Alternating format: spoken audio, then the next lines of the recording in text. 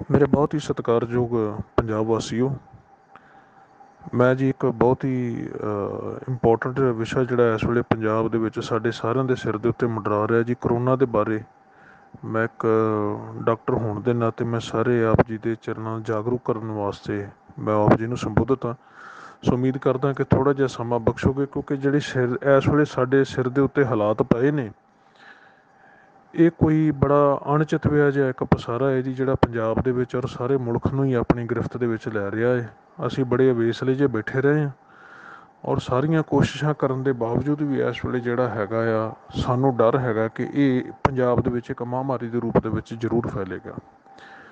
ਸੋ ਇਸ ਵੇਲੇ ਜਿਹੜੀ ਪੰਜਾਬ ਸਰਕਾਰ ਨੇ ਲਾਕਡਾਊਨ ਵਾਲੀ ਕੰਡੀਸ਼ਨ ਦੀ ਫੇਲਿਅਰ ਤੋਂ ਬਾਅਦ ਚ ਜਿਹੜਾ ਕਰਫਿਊ ਨਾਫਸ ਕੀਤਾ ਹੈ, ਸੋ ਉਹਦੇ ਬਾਰੇ ਵੀ ਬੇਨਤੀ ਹੈ ਕਿ ਕਰਫਿਊ ਲੱਗਣ ਦੇ ਬਾਵਜੂਦ ਵੀ ਮੈਂ ਸਵੇਰੇ ਸ਼ਾਮ ਰਾਤ ਨੂੰ ਡਾਕਟਰਾਂ ਦੀਆਂ ਡਿਊਟੀਆਂ ਲੱਗ ਰਹੀਆਂ ਨੇ ਔਰ ਅਸੀਂ ਵੇਖ ਰਹੇ ਹਾਂ ਜੀ ਕਿ ਅਸੀਂ ਆਉਂਦੇ ਜਾਂਦੇ ਵੇਖਦੇ ਹਾਂ ਕਿ ਲੋਕੀ ਇਸ ਨੂੰ ਇੱਕ ਨਾ ਬੜਾ ਕੋਈ ਇੱਕ ਈਵੈਂਟ ਜਿਹਾ ਮੰਨ ਕੇ ਬਸ ਸੜਕਾਂ ਦੇ ਉੱਤੇ ਘੁੰਮਣ ਦੇ ਨੇ, ਕਲਕਾਰੀਆਂ ਮਾਰਨਦੇ ਨੇ, ਗਲੀਆਂ ਬਾਜ਼ਾਰਾਂ ਦੇ ਵਿੱਚ, ਪਿੰਡਾਂ ਦੇ ਵਿੱਚ ਵੀ ਸਾਡੀਆਂ ਰੋਟੇਸ਼ਨ ਦੇ ਵਿੱਚ ਡਿਊਟੀਆਂ ਲੱਗੀਆਂ, ਅਸੀਂ ਵੇਖਦੇ ਉੱਥੇ ਪਿੰਡਾਂ ਦੇ ਵਿੱਚ ਚਲੋ ਪੁਲਿਸ ਨਹੀਂ ਪਹੁੰਚਦੀ ਤੇ ਇਹ ਡੇਰਿਆਂ ਤੋਂ ਬਾਹਰ ਆ ਕੇ ਤਾਸ਼ਾਂ ਖੇਡਣ ਦੇ ਨੇ ਜਾਂ ਚੌਂਕਾਂ ਦੇ ਵਿੱਚ ਬਹਿ ਕੇ, ਟੈਂਪੂਆਂ ਦੇ ਵਿੱਚ ਬਹਿ ਕੇ, ਰਿਕਸ਼ਿਆਂ ਦੇ ਉੱਤੇ ਬਹਿ ਕੇ ਸਿਗਟਾਂ ਫੁੱਕੀ ਜਾਂਦੇ ਨੇ, ਗੱਲਾਂ ਬਾਤਾਂ ਮਾਰੀ ਜਾਂਦੇ ਨੇ।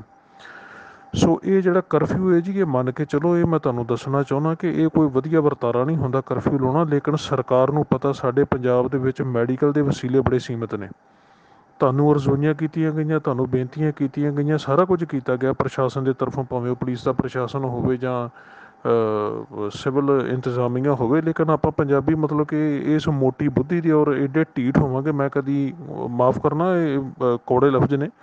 ਪਰ ਅਸੀਂ ਕਦੀ ਸੋਚਿਆ ਨਹੀਂ ਸੀ ਕਿ ਅਸੀਂ ਏਡੇ ਢੀਠ ਔਰ ਏਡੀ ਮੋਟੀ ਬੁੱਧੀ ਦੇ ਜਾਂ ਮੂਰਖ ਕਿਸਮ ਦੇ ਵਿਅਕਤੀ ਹੋਵਾਂਗੇ। ਸੋ ਇਹ ਸਾਰਿਆਂ ਨੂੰ ਮੈਂ ਜਨਰਲਾਈਜ਼ ਤੇ ਨਹੀਂ ਕਰ ਸਕਦਾ ਜੀ, ਇਹਦੇ ਵਿੱਚ ਮਤਲਬ ਕਿ ਮੈਂ ਮੰਨ ਸਕਦਾ ਕਿ 70 75% ਬੰਦੇ ਬਹੁਤ ਸਿਆਣੇ ਨੇ, ਲੇਕਿਨ 25% ਦੀ ਜਿਹੜੇ ਮੂਰਖ ਹੈਗੇ ਨੇ, ਜਿਹੜੇ ਸੜਕਾਂ ਦੇ ਉੱਤੇ ਮਢੀਰ ਵਾਦਾ ਕਹਿ ਲਓ ਜਾਂ ਜਿਨ੍ਹਾਂ ਨੂੰ ਕੋਈ ਅਕਲ ਹੀ ਨਹੀਂ ਹੈਗੀ, ਸੋ ਉਹਨਾਂ ਦੀ ਬਾਬਤ ਇਹ ਸਾਰੇ ਪੰਜਾਬ ਨੂੰ ਸਾਨੂੰ ਇਹਦਾ ਖਮਿਆਜ਼ਾ ਭੁਗਤਣਾ ਪਵੇਗਾ ਔਰ ਬਹੁਤ ਬੁਰਾ ਭੁਗਤਣਾ ਪਵੇਗਾ। ਇਸ ਤੋਂ ਪਹਿਲਾਂ ਕਿ ਮੈਂ ਗੱਲ ਪੂਰੇ ਰੂਪ ਦੇ ਵਿੱਚ ਸ਼ੁਰੂ ਕਰਾਂ, ਮੈਂ ਸਿਰਫ ਇੰਨੀ ਬੇਨਤੀ ਕਰੂੰਗਾ ਕਿ ਹਾਲਾਤ ਏਡੇ ਮਾੜੇ ਨੇ, ਸੱਚ ਮੰਨਿਓ ਜੇ ਇਹ ਸਾਡੇ ਹੱਥੋਂ ਨਿਕਲ ਗਏ। ਉਹ ਭਾਵੇਂ ਤੁਸੀਂ ਜੇ, ਭਾਵੇਂ ਇੰਤਜ਼ਾਮੀਆਂ ਏ, ਭਾਵੇਂ ਡਾਕਟਰ ਏ, ਠੀਕ ਹੈ ਨਾ? ਜੇ ਇਹ ਸਾਡੇ ਹੱਥੋਂ ਨਿਕਲ ਗਏ ਤੇ ਇੱਕ ਗੱਲ ਕੌੜੀ ਗੱਲ ਜੇ, ਪਰਮਾਤਮਾ ਬਖਸ਼ੇ, ਇਹ ਮੇਰੇ ਲਫ਼ਜ਼ ਜਿਹੜੇ ਮੈਂ ਬੋਲਣ ਜਾ ਰਿਹਾ 200% ਗਲਤ ਹੋਣ, ਇਹ ਮੰਨ ਕੇ ਚੱਲੋ ਕਿ ਮੌਤ ਤੋਂ ਬਾਅਦ ਮੂੰਹ ਦੇ ਵਿੱਚ ਕੋਈ ਘਿਓ ਪਾਉਣ ਵਾਲਾ ਵੀ ਨਹੀਂ ਲੱਭੇਗਾ। ਅਸੀਂ ਡਾਕਟਰ ਹਾਂ ਔਰ ਸਾਰਿਆਂ ਨੇ ਅਸੀਂ ਸਲਾਹ ਕੀਤੀ, ਅਸੀਂ ਬੜੇ ਤੁਹਾਡੇ ਵਾਸਤੇ ਚਿੰਤਾਤੁਰ ਹੈਗੇ ਸੱਚ ਮੰਨਿਓ, ਸਾਨੂੰ ਤੁਹਾਡਾ ਬਹੁਤ ਜ਼ਿਆਦਾ ਫਿਕਰ ਜੇ। ਸਾਨੂੰ ਆਪਣੇ ਪਰਿਵਾਰਾਂ ਦਾ ਫਿਕਰ ਹੈਗਾ, ਕਿਉਂਕਿ ਜੇ ਤੁਸੀਂ ਬਿਮਾਰ ਹੋ ਕੇ ਸਾਡੇ ਕੋਲ ਆਉਂਦੇ ਜੇ ਔਰ ਸਭ ਤੋਂ ਪਹਿਲਾਂ ਜਿਹੜੀ ਬਿਮਾਰੀ ਗ੍ਰਸਤ ਹੋਣ ਦਾ ਡਰ ਹੈਗਾ ਆ, ਉਹ ਇਸ ਵੇਲੇ ਡਾਕਟਰ ਤੇ ਡਾਕਟਰੀ ਅਮਲੇ ਨੂੰ ਆ, ਜਿਨ੍ਹਾਂ ਦੇ ਵਿੱਚ ਨਰਸਾਂ ਨੇ ਪੈਰਾਮੈਡੀਕਲ ਸਟਾਫ ਹੈ ਫਾਰਮਾਸਿਸਟ ਨੇ, ਠੀਕ ਹੈ ਨਾ? ਜੋ ਵੀ ਤੁਹਾਡੇ ਨਾਲ ਭਾਵੇਂ ਸਾਡੇ ਉੱਥੇ ਕੰਮ ਕਰਦੇ ਸਾਡੇ ਸੇਵਾਦਾਰ ਵੀਰ ਭੈਣਾਂ ਨੇ, ਸਾਨੂੰ ਸਭ ਤੋਂ ਵੱਧ ਖਤਰਾ ਹੈ ਇਸ ਵੇਲੇ। ਔਰ ਅਸੀਂ ਆਪ ਵੀ ਆਪਣੀ ਜ਼ਿੰਦਗੀ ਜਿਉਣੀ ਚਾਹੁੰਦੇ ਹਾਂ ਔਰ ਅਸੀਂ ਤੁਹਾਨੂੰ ਇਹ ਵੀ ਕਹਿਣਾ ਚਾਹੁੰਦੇ ਹਾਂ ਕਿ ਕਿਰਪਾ ਕਰਕੇ ਤੁਸੀਂ ਵੀ ਲੰਮੀਆਂ ਉਮਰਾਂ ਭੋਗੋ, ਜਿਨ੍ਹਾਂ ਦਾ ਘਰ ਦਾ ਜੀ ਚਲਾ ਜਾਂਦਾ, ਜੇ ਸੱਚ ਮੰਨਿਓ ਵੀਰੋ, ਉਹਨਾਂ ਨੂੰ ਕੋਈ ਨਹੀਂ ਜੇ ਪੁੱਛਦਾ। ਰੱਬ ਪਰਮਾਤਮਾ ਮਿਹਰ ਕਰੇ, ਤੁਸੀਂ ਆਪੋ ਆਪਣੇ ਧਾਰਮਿਕ ਅਕੀਦਿਆਂ ਦੇ ਮੁਤਾਬਕ ਤੁਸੀਂ ਹਿੰਦੂ ਹੋ, ਮੁਸਲਮਾਨ ਹੋ, ਸਰਦਾਰ ਹੋ, ਕ੍ਰਿਸਚਨ ਹੋ ਕੁਝ ਵੀ ਹੋ, ਆਪੋ ਆਪਣੇ ਧਾਰਮਿਕ ਰੀਤੀ ਰਿਵਾਜਾਂ ਦੇ ਮੁਤਾਬਕ ਸਿਰਫ ਘਰਾਂ ਦੇ ਕਮਰਿਆਂ ਦੇ ਵਿੱਚ ਬਹਿ ਕੇ ਮਾਫ ਕਰਨਾ ਧਾਰਮਿਕ ਸਥਾਨਾਂ ਦੇ ਜਾਣ ਦੀ ਕੋਈ ਜ਼ਰੂਰਤ ਨਹੀਂ ਹੈਗੀ।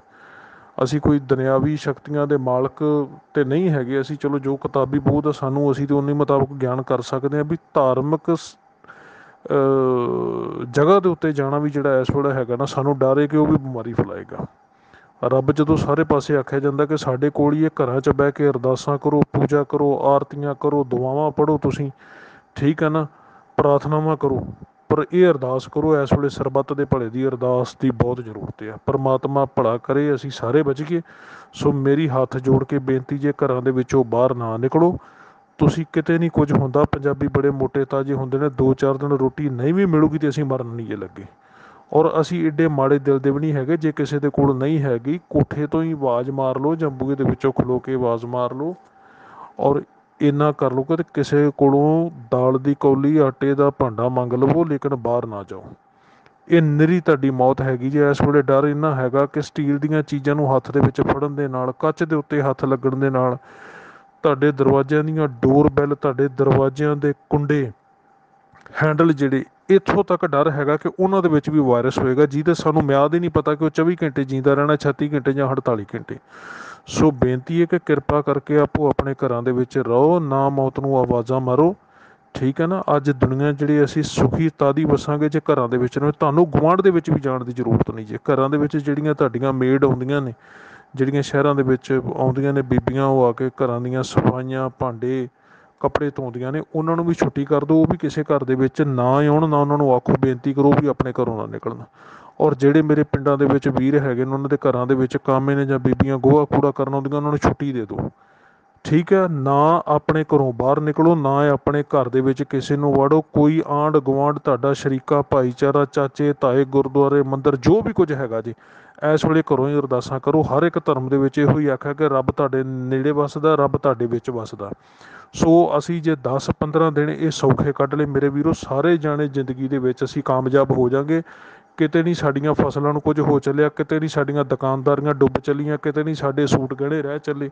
ਠੀਕ ਹੈ ਨਾ, ਬੜੇ ਜ਼ਿੰਦਗੀ ਦੇ ਵਿੱਚ ਜ਼ਰੂਰੀ ਕੰਮ ਹੁੰਦੇ ਨੇ, ਲੇਕਿਨ ਜੇ ਜ਼ਿੰਦਗੀ ਰਹੂਗੀ, ਇਹ ਕੰਮ ਧੰਦੇ ਵੀ ਹੋ ਜਾਣਗੇ, ਜੇ ਜ਼ਿੰਦਗੀ ਹੱਥੋਂ ਨਿਕਲ ਗਈ, ਤੇ ਯਾਦ ਰੱਖਿਓ ਕੱਖ ਵੀ ਨਹੀਂ ਜੇ ਲੱਭਣਾ।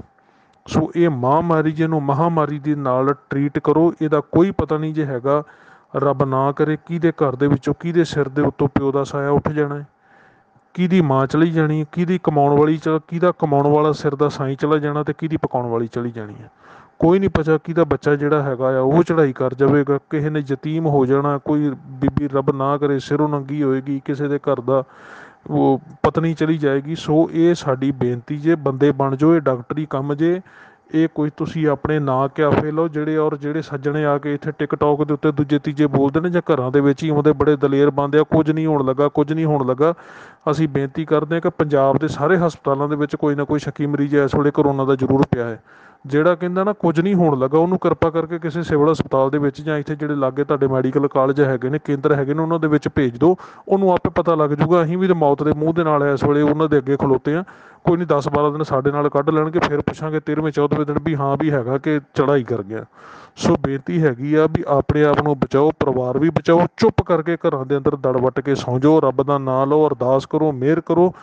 ਔਰ ਪ੍ਰਮਾਤਮਾ ਦੇ ਅੱਗੇ ਇਹੋ ਬੇਨਤੀਆਂ ਕਰੋ ਕਿ ਪ੍ਰਮਾਤਮਾ ਸਾਡੀ ਜਿਹੜੀ ਹੈਗੀ, ਜੇ ਇਟਲੀ, ਚੀਨ, ਅਮਰੀਕਾ, ਕੈਨੇਡਾ ਇਹਨਾਂ ਵਰਗੇ ਗਰਕ ਸਕਦੇ ਜੇ, ਅਸੀਂ ਉਹਨਾਂ ਦੇ ਮੁਤਾਬਕ ਕਿਤੇ ਨਹੀਂ ਜੇ ਹੈਗੇ, ਸਾਡੀਆਂ ਹੈਲਥ ਫੈਸਿਲਿਟੀਆਂ ਬੜੀਆਂ ਲਿਮਟਿਡ ਨੇ, ਬੜੀਆਂ ਸੀਮਤ ਨੇ, ਅਸੀਂ ਥੋੜੇ ਮਰੀਜ਼ ਸਾਂਭ ਸਕਦੇ ਜੇ। ਪੰਜਾਬੀ 'ਚ ਯਾਦ ਰੱਖਿਓ ਕਿ ਜਿਹੜੀਆਂ 10 ਬਾਵਾਂ 12 15 20 ਗਾਵਾਂ, ਮੱਝਾਂ, ਭੇਡਾਂ ਸਾਂਭ ਸਕਦੇ, ਬਹੁਤਾ ਵਗ ਸਾਡੇ ਕੋਲ ਨਹੀਂ ਜੇ ਸਾਂਭਿਆ ਜਾਣਾ।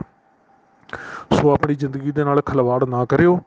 ਆਪਣੇ ਘਰਾਂ ਦੇ ਵਿੱਚ ਰਹੋ, ਬਾਰ-ਬਾਰ ਹੱਥ ਜੋੜ ਕੇ ਕੋਈ ਮੈਂ ਇੱਕ ਇੰਡੀਵਿਜੂਅਲ ਡਾਕਟਰ ਨਹੀਂ, ਮੈਂ ਕੋਈ ਆਪਣੀ ਮਸ਼ਹੂਰੀ ਨਹੀਂ ਕਰਨੀ ਚਾਹੁੰਦਾ, ਨਾ ਮੈਂ ਆਪਣਾ ਨਾਮ ਦੱਸਿਆ ਆ। ਪਰ ਮੈਂ ਤੁਹਾਨੂੰ ਸੱਚਾਈ ਬਿਆਨ ਕਰ ਰਿਹਾ ਜੇ ਕਿ ਆਉਣ ਵਾਲਾ ਸਮਾਂ ਬੜਾ ਮਾੜਾ, ਬੜਾ ਘਾਤਕ ਹੈਗਾ ਜੇ। ਇਹ ਸਿਰਫ ਜੇ ਬਚੇ ਤੁਸੀਂ ਤੇ ਤੁਹਾਡੇ ਘਰਾਂ ਦੇ ਵਿੱਚ ਰਹਿਣ ਦੇ ਨਾਲ ਬਚਣਾ ਜੇ, ਤੁਹਾਡੀਆਂ ਅਰਦਾਸਾਂ ਦੇ ਨਾਲ ਬਚਣਾ ਜੇ ਔਰ ਰੱਬ ਦੀ ਕਿਤੇ ਨਜ਼ਰ ਸਵਾਲੀ ਹੋ ਗਈ, ਤੇ ਤੁਸੀਂ ਸੱਚ ਮੰਨਿਓ ਪੰਜਾਬ ਬਚੂਗਾ। ਨਹੀਂ ਤੇ ਵੇਖੋ ਰੱਬ ਨਾ ਕਰੇ, ਅਸੀਂ ਕਹਿੰਦੇ ਵੀ ਸਾਡੇ ਬਿਆਨ ਗਲਤ ਹੋਣ ਕਿਤੇ ਇਹ ਨਾ ਹੋਵੇ ਕਿ ਅਸੀਂ ਇਹ ਮੁੜ ਕੇ ਗੱਲਾਂ ਕਰਨ ਜੋਗੇ ਜਾਂ ਇਹ ਇਹ ਚੀਜ਼ਾਂ ਹੀ ਰਹਿ ਜਾਣ ਕਿ ਵਾਕਈ ਯਾਰ ਸਾਨੂੰ ਅਗਾਹ ਕੀਤਾ ਗਿਆ ਸੀ, ਲੇਕਿਨ ਅਸੀਂ ਆਪਣੇ ਹਥਿਆਰ ਮੌਤ ਸਹਿੜੀਏ। ਬਹੁਤ ਬਹੁਤ ਧੰਨਵਾਦ ਤੁਹਾਡਾ। ਮੇਰੇ ਵੀਰੋ, ਗੁਰਦੁਆਰੇ ਮੰਦਰਾਂ ਦੇ ਵਿੱਚ ਜਾ ਕੇ ਉੱਥੋਂ ਦੇ ਭਾਈਆਂ ਪੁਜਾਰੀਆਂ ਮੌਲਵੀਆਂ ਜਾਂ ਜਿਹੜੇ ਚਰਚਾਂ ਦੇ ਪ੍ਰੀਸਟ ਹੈਗੇ ਨੇ, ਉਹਨਾਂ ਦੇ ਕੋਲੋਂ ਵੀ ਜਾ ਕੇ ਇਹਨਾਂ ਚੀਜ਼ਾਂ ਦਾ ਕੋਈ ਐਕਸਟ੍ਰੈਕਟ ਕੱਢ ਕੇ ਉਹਨਾਂ ਨੂੰ ਆਖੋ ਕਿ ਅਨਾਉਂਸਮੈਂਟ ਕਰੋ। ਘਰਾਂ ਦੇ ਵਿੱਚ ਵੜ ਜੋ ਦੜ ਵੱਟ ਕੇ ਸੌਂ ਜਾਓ ਮੇਰੇ ਵੀਰ। ਬਚ ਜੋਗੇ ਅਸੀਂ ਭੁੱਖੇ ਨਹੀਂ ਮਰ ਲੱਗੇ। ਕੁਝ ਨਹੀਂ ਹੁੰਦਾ, ਜੇ ਜਿਉਂਦੇ ਰਹੇ ਤਾਂ ਯਾਦ ਰੱਖਿਓ ਦੋਆਂ ਤਿੰਨਾਂ ਮਹੀਨਿਆਂ ਬਾਅਦ ਸਾਰੀਆਂ ਕਮਾਈਆਂ ਹੋ ਜਾਂਦੀਆਂ। ਬੰਦੇ ਜਿਉਂਦੇ ਰਹਿਣੇ ਚਾਹੀਦੇ ਨੇ, ਪੈਸੇ ਆ ਜਾਂਦੇ ਨੇ। ਤੇ ਪੈਸਾ ਹੋਵੇ ਲੇਕਿਨ ਤੁਸੀਂ ਬੰਦਾ ਨਹੀਂ ਜੇ ਕਮਾ ਸਕਦੇ, ਜ਼ਿੰਦਗੀ ਦਾ ਯਾਦ ਰੱਖਿਓ ਬਜ਼ੁਰਗਾਂ ਦਾ। ਤੁਸੀਂ ਸੁਣਿਆ ਮੈਨੂੰ, ਤੁਹਾਡਾ ਬਹੁਤ ਬਹੁਤ ਧੰਨਵਾਦ। ਚੰਗਾ ਲੱਗੇ, ਅੱਗੇ ਵੱਧ ਤੋਂ ਵੱਧ ਸ਼ੇਅਰ ਕਰਿਓ। ਟਾਈਮ ਥੋੜਾ ਮੈਂ 9 ਮਿੰਟ ਦੇ ਕਰੀਬ ਲੈ ਚੱਲਿਆ 8.5 ਮਿੰਟ ਨੇ। ਪਰ ਇਹ ਗੱਲਾਂ ਵੈਲਿਊਏਬਲ ਹੈਗੀਆਂ ਨੇ। ਇਹਨੂੰ ਸਮਝ ਲਿਓ, ਮੈਂ ਬੜੀ ਠੇਠ ਪੰਜਾਬੀ ਦੇ ਵਿੱਚ, ਸਮਝਣ ਵਾਲੀ ਬੋਲੀ ਦੇ ਵਿੱਚ ਗੱਲ ਕੀਤੀ ਹੈ ਕਿ ਕਿਤੇ ਇਹ ਨਾ ਹੋਵੇ ਵੀ ਤੁਹਾਨੂੰ ਸਮਝ ਨਾ ਲੱਗੇ ਜਾਂ ਤੁਹਾਡੇ ਸਿਰ ਤੋਂ ਬਣਨਗੇ ਪਰ ਸਿਰਫ ਸੁਣ ਕੇ ਇਹਨੂੰ ਸੁੱਟਣਾ ਦਿਓ। ਇਹਨਾਂ ਗੱਲਾਂ ਨੂੰ ਦਿਮਾਗ ਦੇ ਵਿੱਚ ਵਾੜੋ ਔਰ ਆਪਣੇ ਹੱਥ ਧੋਂਦੇ ਰਹੋ।